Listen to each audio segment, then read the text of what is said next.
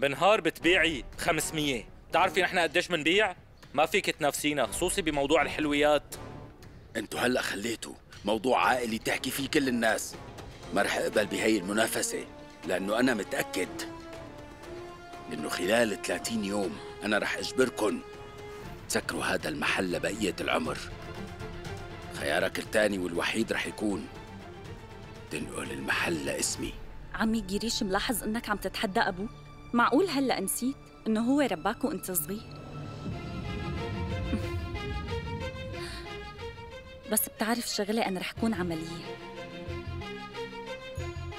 ورح أقبل التحدي.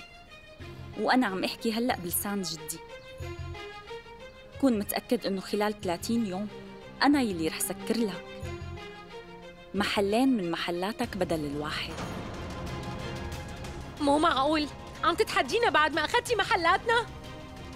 يا خالتي أنا مستحيل آخذ شي مو إلي. طبع مستحيل يتغير. دائما هو الغلاب. وقد ما حاول الإنسان يخفي اللي بقلبه. وأنتوا شو عم تعملوا هون؟ يلا الكل يروح من هون. نحن عنا كثير طلبيات لازم نوصلها. يلا ميتاي. امشي.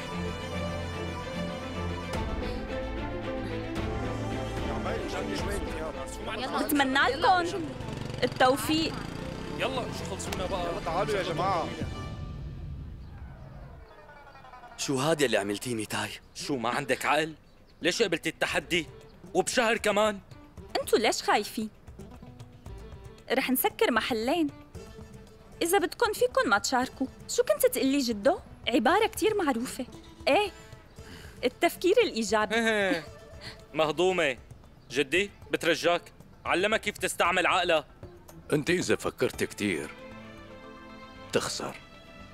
بس يلي مثلها عندهم روح التحدي. هنن يلي بيفوزوا. رح نعمل كل شيء لحتى نقدر نفوز. وما رح نستسلم.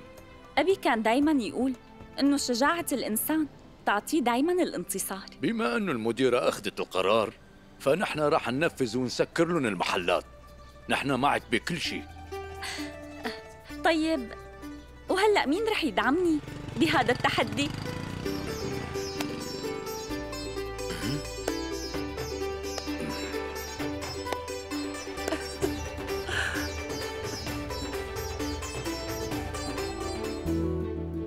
يلا أنا هلأ صار لازم روح لعند أبي ماشي؟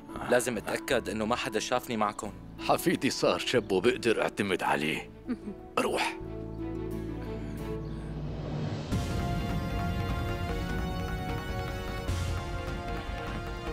آه.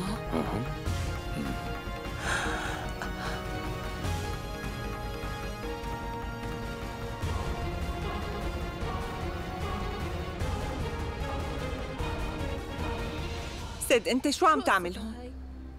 هلا شفت أبوك رايح من هون والعيلة كلها كانت معه. شكرا أبيكشا إنك هون. ولا كانت ميتاي. أخذت راحتها كتير. ليكي شو شايفة حالها؟ بتشتغل ب 500 روبية وبتتحدى لأبي. بحكي لك بعدين شو صار. استفزتني لدرجة بقيت هون. بس لحتى ورجيها قيمتها. أنا مستحيل خاف من تهديداتك. بس بخاف من الغش.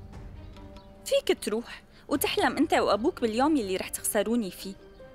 لأنه هذا الشيء مستحيل. أنا دايما بفوز. أنت خدعتي ستي وجدي بكلامك. وكمان أنت حدا كتير ذكي. أما هنن ناس طيبين. ما فيني أتركهم تحت رحمتها. رح أنقذهم من الفخ تبعك. ما بتعرفي مين تحديتي. رح آخذ هذا المحل منك.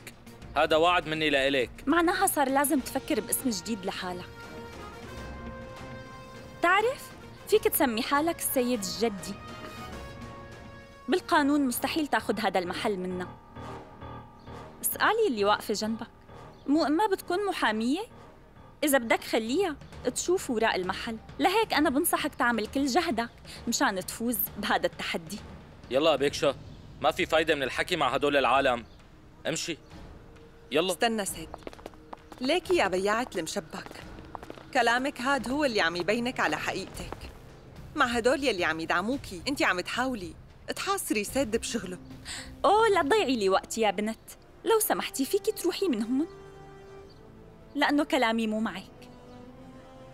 أنا بوجه كل كلامي بس مع الشخص اللي تحداني. لا انت كتير شايفة حالك. معقول لهلأ مفكرة حالك مرته قليلي إذا حابة تقاتلي تذكري. إنه كل عمري بشتغل بالحلويات. لهيك فيني حطك بمقلاية. وأقليكي منيح مع المشبك عم تفهمي؟ أوف عن جد شي مو معقول. انت عم تهدديني؟ يلا سيد آه كنت عم تضحك على كلامها مو هيك؟ لا كنت عم أضحك على حظي السيء. كيف تزوجتها؟ وهي بنت سخيفة كل هالقد. عم تتحداكي وتتحداني. شو مفكرة حالها؟ بس لو ما كان جدي وستي قاعدين كنت تصرفت شو هادية؟ بيعت المشبك في مجال ما عاد تتصرفي كأنك مرته. انفصالك رح يكون قريب. وعلى فكرة حتى لو ما وصلوكي الوراق بحب خبرك إنهم صاروا موقعين. وراء الانفصال.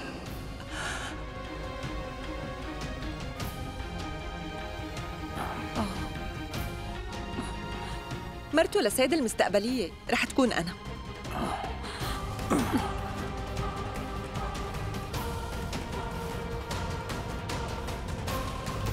بعدلي شوي يا أخي.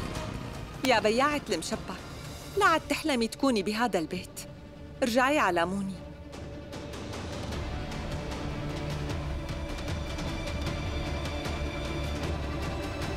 يلا سيد.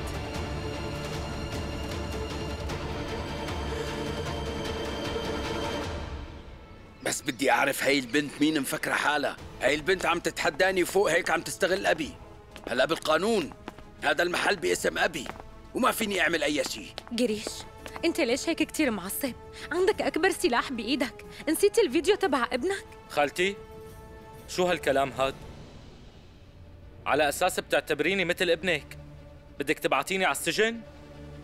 أبي بترجاك لا تعمل هيك شي حياتي عم تمر بمرحلة صعبة. إذا عرضت الفيديو رح روح على السجن. انتي خسرتي محل واحد بس. أبي بدي أسألك سؤال. مين أهم بالنسبة لإلك؟ المحل أو ابنك؟ أكيد ما بيهمني المحل. أبوك عنده القدرة يشتري عشر محلات بدال المحل يلي راح. والمرة الجاية فكري قبل ما تحكي. أبي أنا آسف. لأني ما كنت عرفان إنك بتحبني لهي الدرجة. جيريش قال شي واحد صح. نحن خسرنا محل واحد بس ما حدا بيقدر ينافس حلويات هاري موهان. إيه يا عمي. بالنهاية معهم محل من عشرة الباقي معنا. أكيد رح نفوز. معك حق يا ابني. يعني بالأخير هاي البنت شو ممكن تعمل؟